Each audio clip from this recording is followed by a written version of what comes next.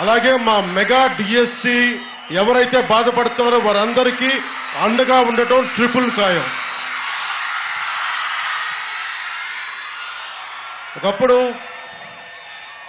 దివిసీమ అవనిగడ్డ ఎక్కడో మూలాన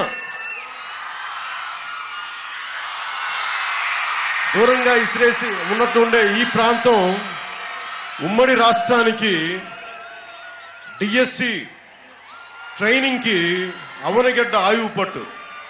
దాదాపు ఎనభై నుంచి తొంభై పైగా కేంద్రాలు తెలంగాణలో టీచర్లు ఉద్యోగాలు వచ్చిన దాటన్నిటికీ ఇక్కడ ట్రైనింగ్ ఇక్కడ. అలాంటి బలమైన ఇన్స్టిట్యూషన్స్ ఉన్నది. ఈ రోజున దాదాపు పార్లమెంట్లో కూడా చెప్తా ఉన్నారు దాదాపు ముప్పై వేల పైచిలకు యాభై వేలు అని చెప్తా ఉన్నారు. ఉద్యోగాలు డిఎస్సి ఉద్యోగాలు ఖాళీగా ఉన్నాయని చెప్తా ఉన్నా.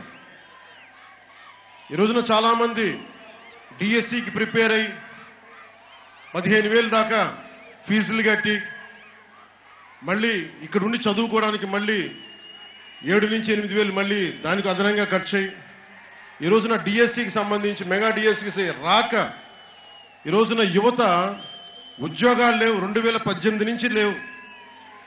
ఇదే పెద్ద మనిషి అందరితో తిరిగాడు పాదయాత్ర చేశాడు. పాదయాత్రలు ఇవ్వనంటూ వారం లేదు. మద్యపాన నిషేధం అమలు దగ్గర నుంచి డిఎస్సి మెగా డిఎస్సి దాకా. రెండున్నర లక్షల ఉద్యోగాలని చెప్పి.